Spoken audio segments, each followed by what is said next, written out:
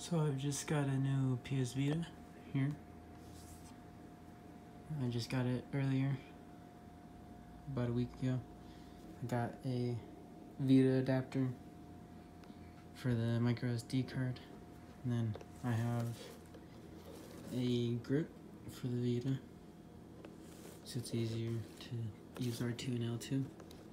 Also comes with thumb grips and should have screen protector as well for front and back.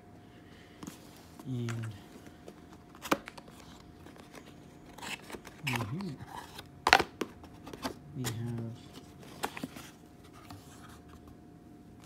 charging cable AC adapter and Japanese pamphlets because this is a Japanese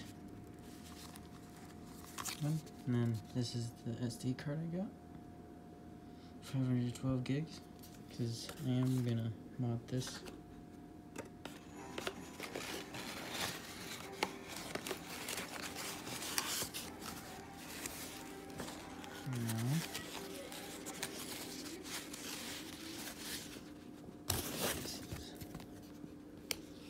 Little bit exciting.